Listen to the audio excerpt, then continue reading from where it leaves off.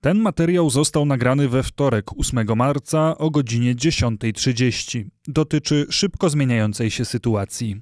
Po kilkunastu dniach konfliktu Rosjanie zaproponowali nowe warunki zakończenia wojny. Ukraina ma być zdemilitaryzowana, pogodzić się z utratą Krymu, Doniecka i Ługańska, a także wyrzec się dążenia do członkowstwa w NATO. Wobec niezdolności do y, podporządkowania Ukrainy militarnie Rosja rozpoczyna akcję dyplomatyczną mającą na celu osłabienie ukraińskiego morale. Wczoraj y, słyszeliśmy taką propozycję y, pokojową ze strony Pieskowa, która y, dotyczyć miała ukraińskich ustępstw w sprawie swojej neutralności, uznania niepodległości Donbasu oraz aneksji y, Krymu. Y, formalnie nie dotyczących spraw wewnętrznych Ukrainy, no mam wrażenie, że to jest y, pewien blef rosyjski, to jest pewna intryga, których, której intencją jest y, zmniejszenie woli Ukraińców do obrony, być może pokłócenie elity społeczeństwa. Tym bardziej, że dzisiaj jest tego kontynuacja w postaci pojawienia się po ośmiu latach z Wiktora Janukowycza, byłego prezydenta, który również zapolował do Zełenskiego o no właściwie kapitulację. Y, Rosja zarazem zwiększa mm, presję y, militarną, Rosja zwiększa ostrzał ludności cywilnej. To jest wszystko w celu osłabienia morale broniącej się Ukrainy. Wobec propozycji Pieskowa podchodziłbym bardzo wstrzemięźliwie. Y, bardzo trudno mi sobie wyobrazić, aby Rosja zadowoliła się ustępstwami Ukrainy, które nie dadzą y, Moskwie możliwości wpływu na politykę wewnętrzną tego kraju.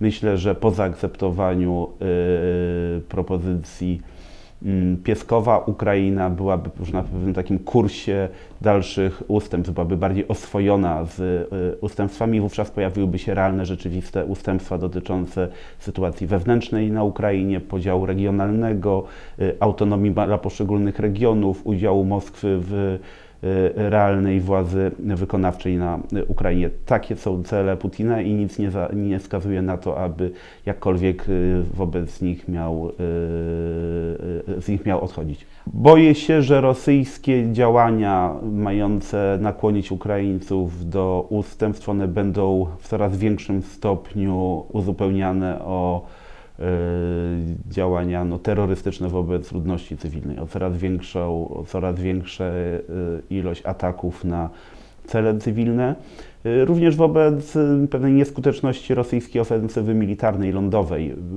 Spodziewamy się, że w najbliższych godzinach, dniach Rosja zaangażuje jeszcze bardziej lotnictwo, jeszcze bardziej ukraińskie pozycje będą ostrzeliwane przez siły artyleryjskie. Zarazem w wymiarze militarnym Rosja stara się otoczyć Kijów. E, to idzie ze zmiennym powodzeniem. Rosjanie są na północny zachód od miasta. Rosjanie prowadzą ofensywę, gdzie Ukraińcy dzielnie bronią się na wschód od Kijowa, broniąc linii między Browarami a Borys, Boryspolem. Pojawiły się, ukraiński sztab generalny poinformował o, o, o pojawieniu się jednostek rosyjskich od południa od miasta, no, natomiast daleko jeszcze do szturmu ukraińskiej stolicy. Wydaje się, że na początku Rosjanie będą chcieli zamknąć pierścień, o ile to się okaże realne, a później dopiero Y, będą wykorzystywali jednostki Rosgwardii, y, Wagnerowców do, do, do, do, do wchodzenia do miasta. To co, to, to, co od kilku dni rzuca się w oczy, to y, duża skuteczność Ukraińców, jeżeli chodzi o działania dywersyjne na zapleczu rosyjskich czołgów, uderzenia w kolumny transportowe, wsparcia. To jest, to jest coś, gdzie Rosjanie przy bardzo niewysokim morale swoich żołnierzy i dużym rozciągnięciu y, sił y, jak gdyby zaznają dużych, dużych, dużych strat.